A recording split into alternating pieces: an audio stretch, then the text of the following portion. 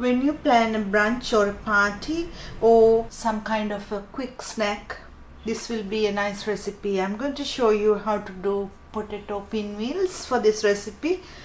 These are the ingredients. 4 large potatoes or 500 grams boiled potato, 30 milliliters milk, 50 grams parmesan cheese, 1 egg, salt, pepper and paprika to your taste and 15 grams cornstarch or tapioca flour.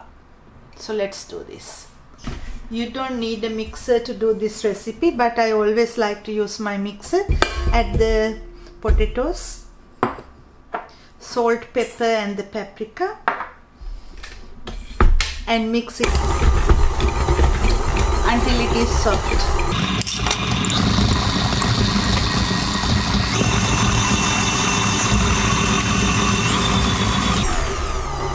While mixing, add the egg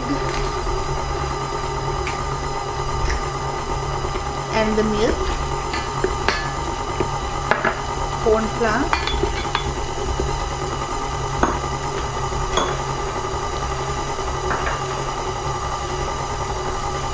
and then the parmesan cheese. Mix this until it's a soft, smooth mixture.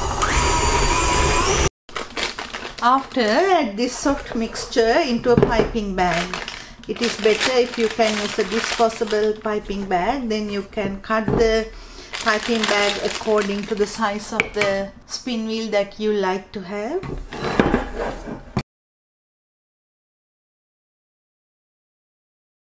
so press inwards and then cut according to the size that you like so press down and release all the air.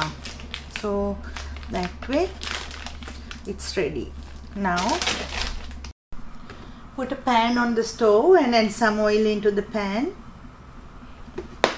When the oil is hot slowly pipe the potato into the oil like a wheel like this so deep fry it until golden brown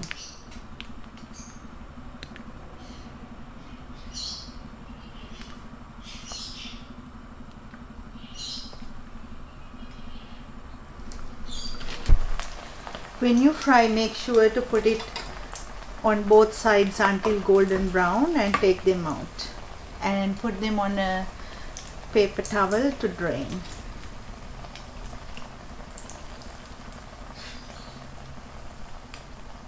There's another easy way if you want you can pipe it onto a stainless steel or non-stick spoon and put it upside down onto the oil like this.